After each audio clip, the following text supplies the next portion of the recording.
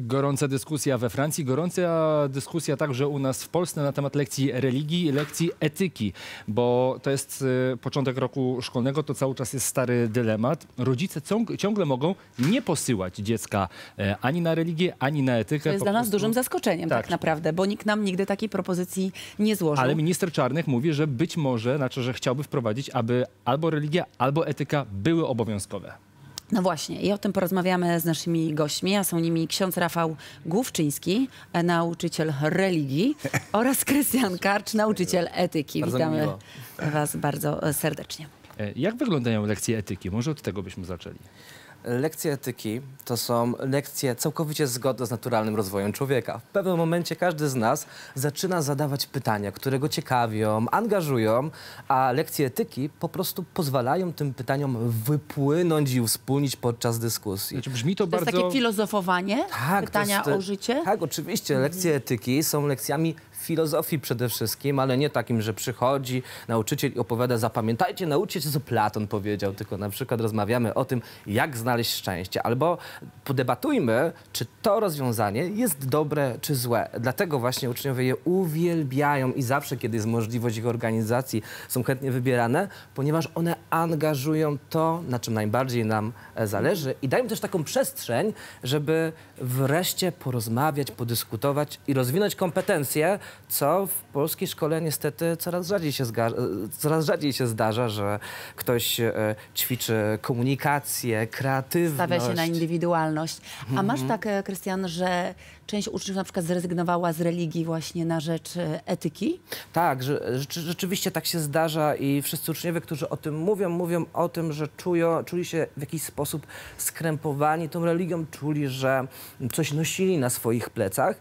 E, A jeżeli chodzi o lekcje etyki, to lekcje etyki o tyle się różnią od lekcji religii, że na re, religia jest jakaś, tak? Ja bym, mam być jakiś po tych lekcjach, a na lekcji etyki, kimkolwiek bym nie To był, już zależy, wierz- kto tą religię prowadzi, bo to no, jest pewnie bardzo tak, indywidualne. ale jeżeli chodzi o cele, to jednak cel jest pewien konkretny. A jeżeli chodzi o lekcję etyki, to mam być najlepszą wersją siebie, w cokolwiek bym wierzył. Czy e, wierzę, czy nie wierzę, czy w takiego Boga, czy innego, mogę się rozwijać, kształcić kompetencje.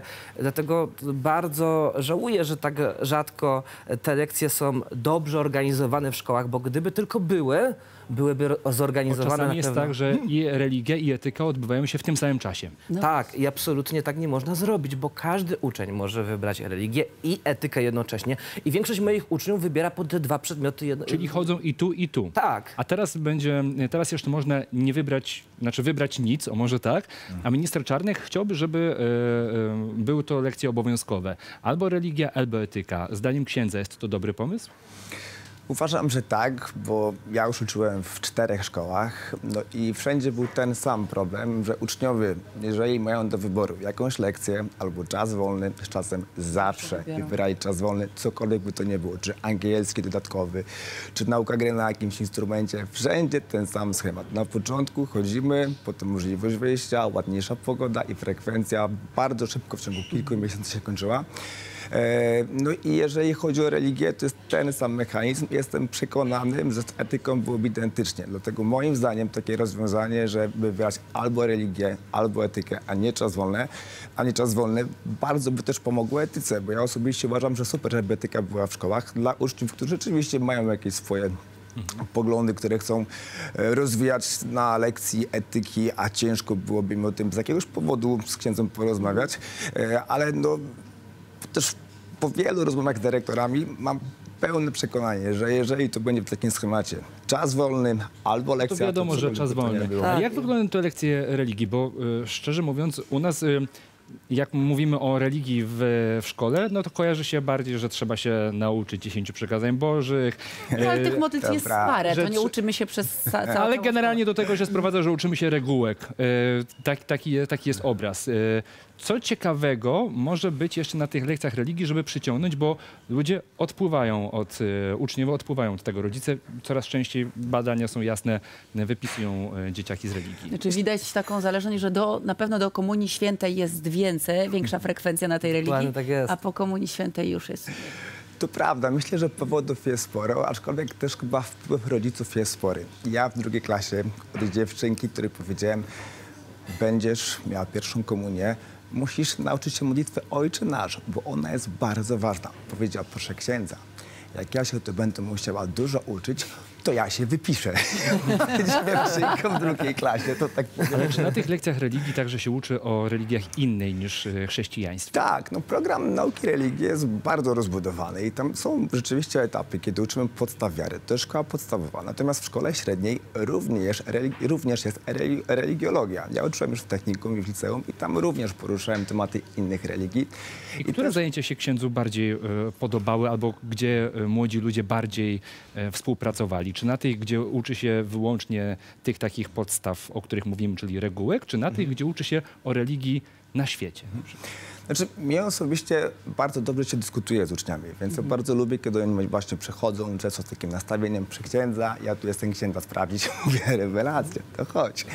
E, I bardzo lubię takie dociekliwe pytania, a dlaczego ksiądz uważa, że nie wszystkie religie są równe? I wtedy tłumaczę, no bo w jednej religii my wierzymy w Boga, który jest miłosierny, a natomiast w innej ten Bóg ma zupełnie inny obraz ta religia i ta mówi, Bóg, mówi Bóg, ale w praktyce, no ty mówiąc Bóg, w jednej religii wierzy, że to jest Bóg okrutny, a u nas wierzy, że to jest Bóg pełen miłości. No i potem tam pokazuję konkretnie jakieś Że to przykłady. jest właśnie księdza interpretacja.